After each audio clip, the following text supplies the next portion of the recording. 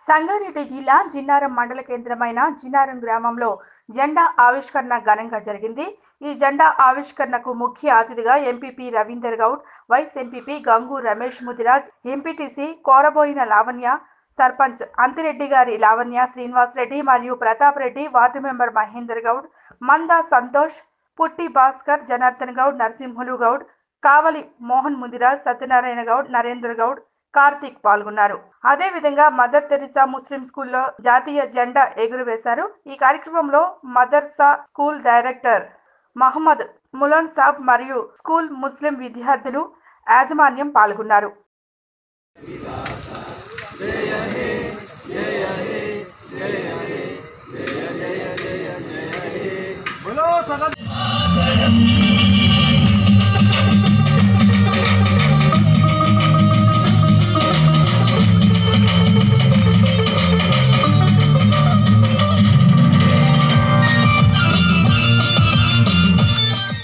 ఉన్నటువంటి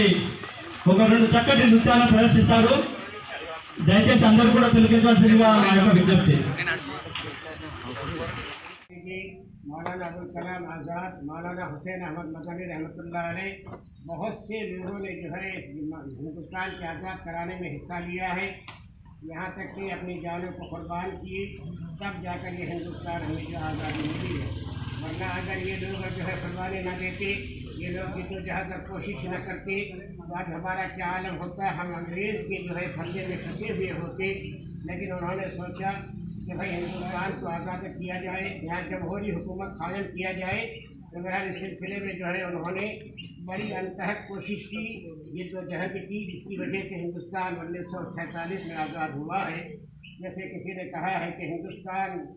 है देश हमारा, जान से अपने सबको प्यारा हिंदू मुस्लिम सिख ईसाई आपस में है भाई भाई